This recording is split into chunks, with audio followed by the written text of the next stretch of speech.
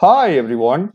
In this video, I will be showing you how to post data in MySQL using Node.js and Postman. So let's get started. So the first thing we need to install the libraries, okay?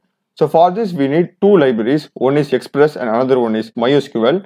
So just go to your folder path in terminal of Visual Studio Code and type npm i space express and MySQL and just hit enter. Just wait till the libraries are getting downloaded. Uh, so once the libraries are installed, just go to your folder over here and just click new file and I will just name it as main.js. You can name whatever you want and just hit enter and let me just now close this. So as usual, we will be importing the libraries, okay? So it's going to be where express equal to require express and let me just now copy this and paste it and I will just change this to MySQL here as well. And next I will be like declaring my app variable let where app equal to express. And I will be also using express.json because we will be posting data in a form of JSON. So it's going to be app.use express dot JSON. That's fine. So once you're done with importing libraries, we need to create our connection variable. All right. So just come to the next line and type const let con be my connection variable equal to MySQL. So you need to like basically use this variable over here. Dot you'll be having this create connection and just open a circular bracket and a curly bracket and within this connection variable we will be defining our host username password and database name okay so first one is going to be the host. So since i'm using my mysql locally i will be just having the host as localhost. So it's localhost and just come to the next one and it's going to be user. So you need to specify your username over here. So for me by default username is root. I will just put root over here. So you need to specify your username what you are having for you in your mysql okay so for me in my MySQL workbench, I'm having the username as root over here. By default, majority of you will be having the name as root, but you need to be like specify your username, okay? It's going to be unique in some cases. So just specify your username and just put a comma and next one is going to be the password. This is also going to be like specific for particular user. So I will just enter my password, okay? So it's, okay, that's fine. And next is my database name so let me just put database and here you need to specify only the existing database okay? So in my case i'm just going to use this particular database over here. I'm just going to create it after just typing it out. So i will just use this database. So now we are done with our connection variable. Now let's just try to connect it okay? Think i made a minor mistake over here. I think this json should have circular bracket as well okay? Just add it and let it's going to be my connection variable name which is con dot connect.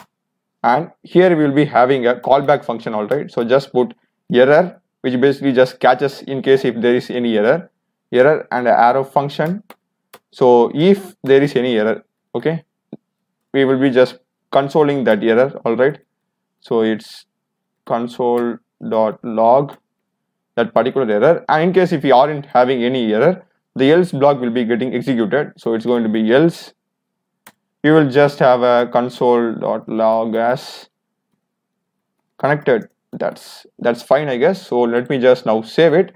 And another important thing we need to create this particular database. All right. So let me just now go to my mysql workbench and just create this database. Yeah. If i refresh it now I'll be having here new DB. So now if I just go and run this particular code, so for running it, it's going to be node and your .js file, which is main in my case. So it's main.js and just hit enter. So here you can see I'm getting connected, which means that I'm not having any error over here. So this is fine. Now let's just go and create our post function. All right. So let me just now stop it. For stopping it, it is control plus C. All right. Yeah, it stopped now. So for creating our post function, just come down, okay? We will be using this app variable, all right? So it's going to be app dot post function, all right? Because we are going to just post data it's not going to be get or fetch something like that. It's going to be post and just open circular bracket. And first thing we will need to specify the path okay? So i will just have the path as slash post. You can keep whatever you want. So this path will be used as in the url in our postman. It's going to be coming over here all right you can like use whatever name you want. And just come outside and have a callback function. So it's going to be request comma response and a arrow function over here as well. So here i am going to pass three variables okay in postman. So these three variables should be present in the column as well. So these are the variables that i'm going to pass. One is id one is name another one is mark. So these three variables should be a column in your particular table in the database okay? So this is how it's going to be. I am going to pass id name and mark.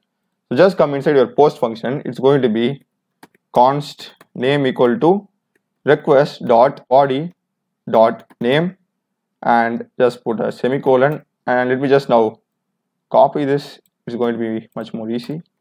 And paste it twice. And then let me just put it as id and id here as well. And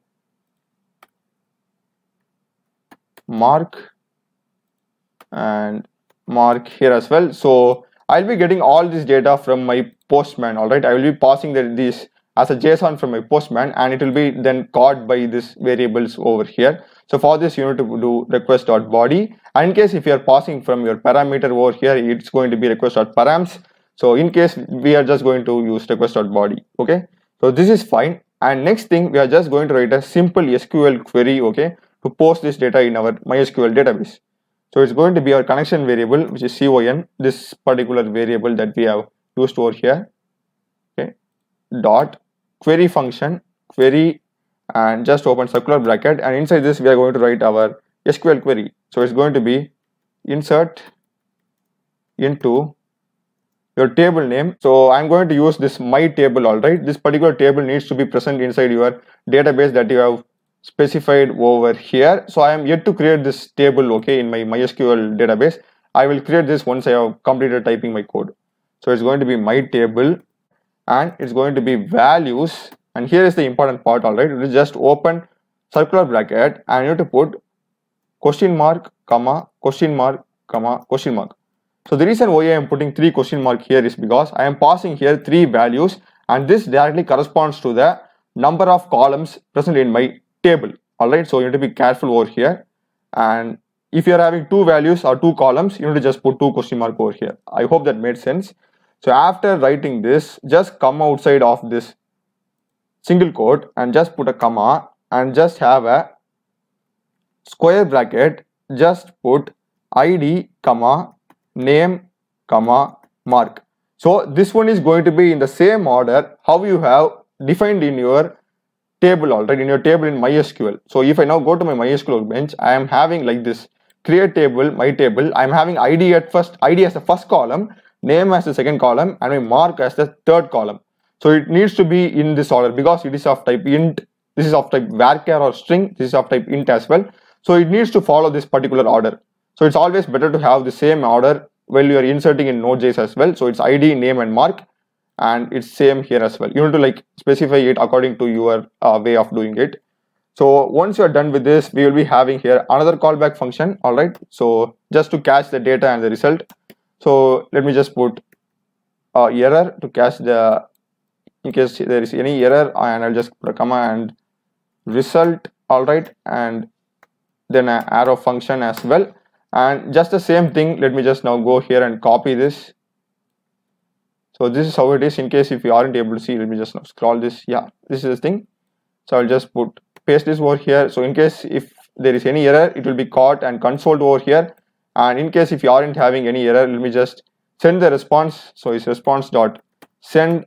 I'll be just putting posted over here. We will be getting this posted response in our postman over here as a response. All right. So now i think we are good with our post function. All right. Now we need to just start our server. So for that it's going to be just come outside of the post function. It's going to be app dot listen and you have to specify your port. So I will go with 3000 or you can just specify any free port that is available. And another callback function, same thing, uh, just a error. and I will just paste it again as well. I will just console.log on port 3000. So this is fine. I guess you need to be just careful with this particular part. I think this is where most people make the mistake. So you need to be just careful with it. Just the same SQL command, all right. So now let's just run and see with the help of Postman. So I'm just now saving it and I will go to my terminal and again start the server. So this time you can see I'm getting on port 3000 connected, which means that there isn't any error. So let me just now copy this, all right, this particular variables. And now what you need to do is you need to go to Postman and you need to change to post, all right. It will be in get or some other thing. You need to change it to post, really important thing. And you need to just copy this particular path, all right. You need to copy that path and add it add it after your localhost 3000 or your particular port number all right and this port needs to be the same over here okay that's another important thing as well so this is done so now again just go to postman and you're going to body okay? You need to go to body option and you need to go to raw and you need to change the format as json. All right really important thing because we are sending the data in a form of json. So you need to just make sure that it is in text it's json okay? So now just paste this all right and let's just convert this particular thing into json. So just put a curly bracket. All right so now i am not getting any errors. So trailing comma okay and just remove this. So now it's fine. So now i'm not having any errors. So if the particular name is of string type you need to have this within double quotes. And this is of int type so i'm not having any double quotes over here. So this is going to be our payload okay for posting data. And final thing we need to create this particular table all right? So just go to your mysql workbench and i've already created the database. So i will just now use this particular database. It's going to be use this database. All right so i will just use this. Yeah it's fine. So now i will just go and create this particular table. Yeah it's created and just insert some values as well. So I will have uh, 1 as a and I will just have it as some 10 or something as mark and I will just insert this as well. So this is fine and I will just now select my table yeah so only two rows are now present. So if I insert something it needs to be added as a third row okay? So now let me just go to my uh, code. It's running and I will just go to my postman and I'll just click send.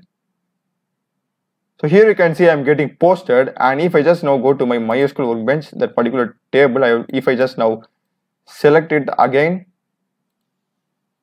yeah, so now here you can see I'm having 1000 ABC and 1000 as well, which is directly corresponding to this data over here.